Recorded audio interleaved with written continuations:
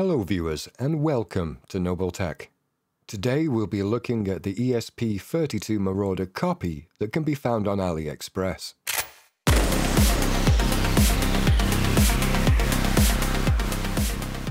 This is a copy of an ESP32 Marauder that you can currently find on AliExpress.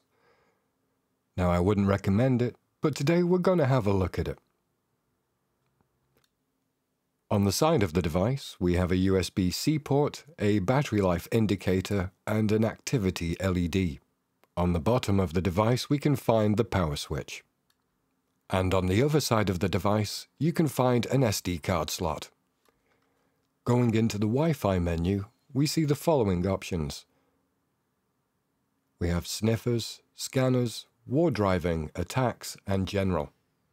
On screen we have multiple sniffer options including Wi-Fi pineapple and flipper detection. We have scanners such as ping scan and port scan all. War driving which includes war drive and station war drive. And Wi-Fi attacks which includes targeted deauthentication, karma portals, evil portals, deauthflood and so much more. And then we have general Wi-Fi where you can select your access points. Now moving over to the Bluetooth menu, we can see that we have sniffers and Bluetooth attacks.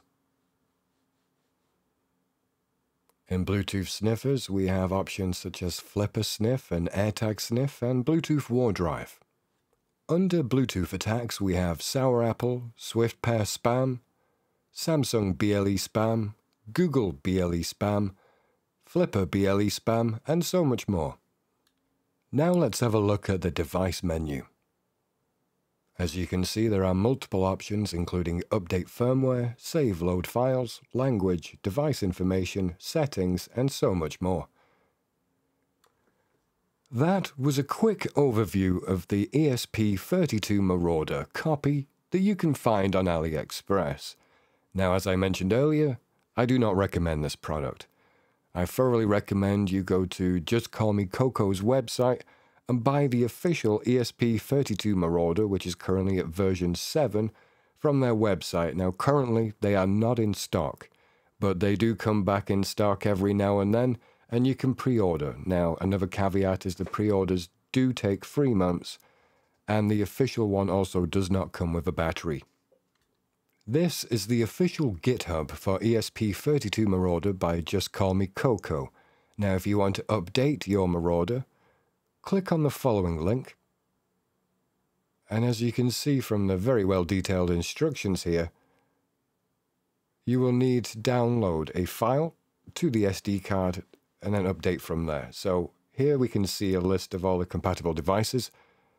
We are currently using the version 6. If you've got it from AliExpress, it says so on the store page. So we scroll down and we look for the version 6 of the file, which is this one. Now you want to download this to your computer. And then once it's downloaded, rename this file to update.bin. Make sure that that file extension at the end stays there. Once your SD card is back in your ESP32 Marauder, you will then want to go to the device menu. And then from there, you want to select Update Firmware. Lastly today, I want to look at a targeted deauthentication attack. So we select Wi-Fi, select sniffers. Then we select scan access points. Now I'm not going to show you this on screen because I don't want to show you those uh, details. Once you have selected your access point, go back and now go to Wi-Fi General. Now scroll up to select Access Point. And from here you can select one of the access points that you previously scanned. Once you have selected your access point, go back and now go to the Attack menu where you can select Deauth Targeted. Now once you've selected this option, it will immediately start to deauthenticate your targeted access point. Now, I recommend absolutely that you only do this to your own network or a network you have permission to do this to. To do it to any unauthorized network is absolutely illegal in most countries.